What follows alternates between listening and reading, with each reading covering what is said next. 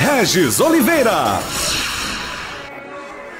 Olha aí, gente, notícia curiosa, inusitada. Macaco vai a velório de amigo e tenta fazer o morto acordar. Olha que coisa interessante. Um velório em Batikaloa, no Sri Lanka, teve o seu ritual repentinamente alterado quando um macaco, isso mesmo, um macaco, chegou ao local. O animal foi ordeiro e não causou problemas. A cena para muitos foi, na verdade, tocante, emocionante. O macaco subiu no caixão onde estava o corpo de um homem e tentou fazer com que ele acordasse.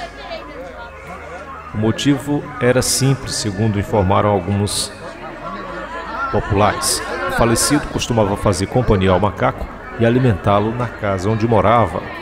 Durante vários minutos, o macaco langur, um tipo de macaco comum naquela região, tentou vários movimentos na tentativa de salvar o amigo e chegou até a beijá-lo. Ele não sabia, mas era uma despedida. Depois disso, o macaco foi retirado do caixão. O vídeo viralizou, registrando a cena e emocionou muitos usuários de redes sociais que elogiaram o forte laço entre o homem e o animal, contou a NDTV. Parentes enlutados e outros presentes ficaram surpresos ao ver o gesto do macaco langulo.